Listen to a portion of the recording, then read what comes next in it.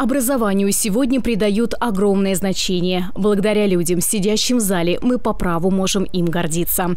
По итогам прошлого года 13 11-классников получили 100 баллов по ЕГЭ. 114 выпускников закончили школу с медалью за особые успехи в учении. И 5 школ округа вошли в топ-100 школ Подмосковья. Каждый год появляются новые идеи, которые становятся частью образовательного процесса. А в этом году самое главное то, что э, предмет ОБЖ будет называться «Основы безопасности жизнедеятельности и защиты Родины». Это важный блок, которого раньше не было.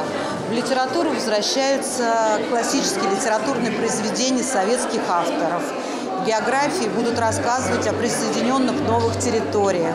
И уникальной, на мой взгляд, э, внеурочная деятельность, которая будет в этом году впервые, это семьеведение.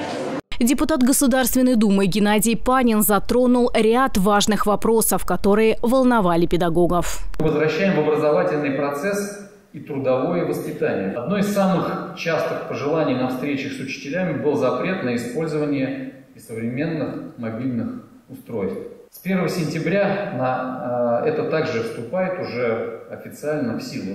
Глава Орехово-Зуйского округа Руслан Заголовацкий подвел итоги работы по реализации государственных программ по капитальному ремонту и строительству новых школ. 2 сентября мы открываем три, можно сказать, совершенно новые школы, чей внешний облик и внутреннее наполнение стали неузнаваемыми. Дрезденская школа номер один, Демиковский лицей, Давыдовская гимназия. Не буду скрывать, что для нашей команды одним из ожидаемых событий этого года было открытие новой Морозовской школы, потому что проект был очень амбициозным, уникальным. Смело могу сказать, что таких школ в Подмосковье пока больше нет. Помимо этого озвучили и планы по капитальному ремонту на следующий год. Он будет проведен в четырех школах округа и в одном детском саду. Все это будет реализовано благодаря президентской программе и народной программе партии «Единая Россия». В ходе конференции лучшие педагоги были отмечены наградами Государственной Думы, знаками, благодарственными письмами Мособлдумы, а также грамотами Министерства образования Московской области и администрации Орехово-Зуевского округа округа.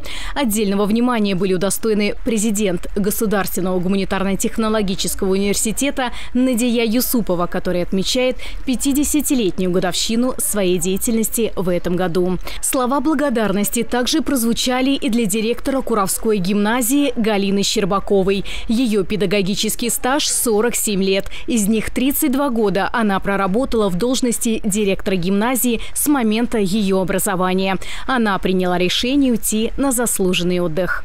А молодых специалистов, выбравших для себя благородную и ответственную профессию педагога, приветствовали бурными аплодисментами.